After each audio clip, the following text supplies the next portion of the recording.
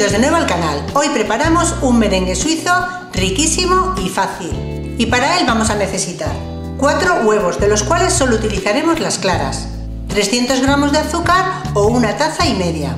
Opcionalmente y si queremos que tenga algún sabor, podemos poner un poquito de zumo de limón como una cucharada o una cucharada de esencia, la esencia también la que os guste.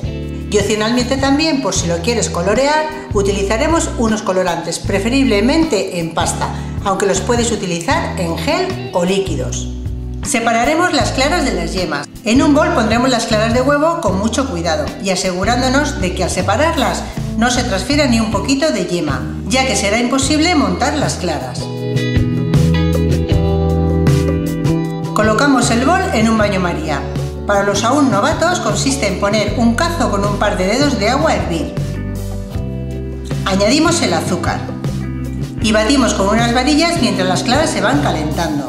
Controlaremos la temperatura que no hierva fuerte para que las claras no se cocinen y se cuajen.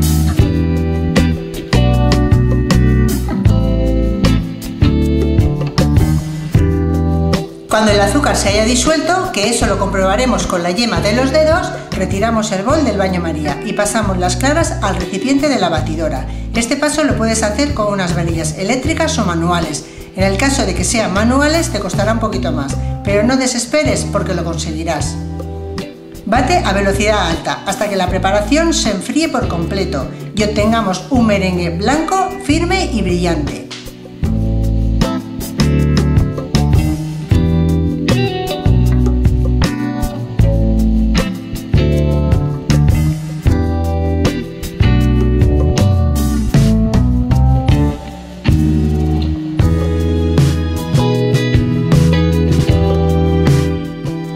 Lo has conseguido, puedes aromatizar con una cucharadita de cualquier esencia e incluso darle cualquier color.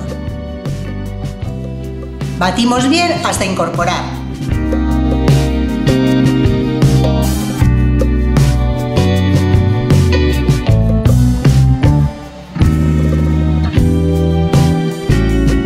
Y si por otro lado quieres darle color, también puedes añadir el colorante.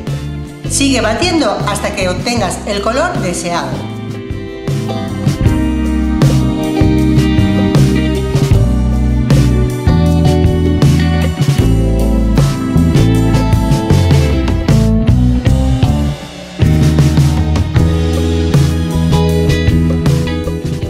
Es perfecta para relleno de tartas, decorar con manga pastelera, incluso para hacer flores y decoraciones.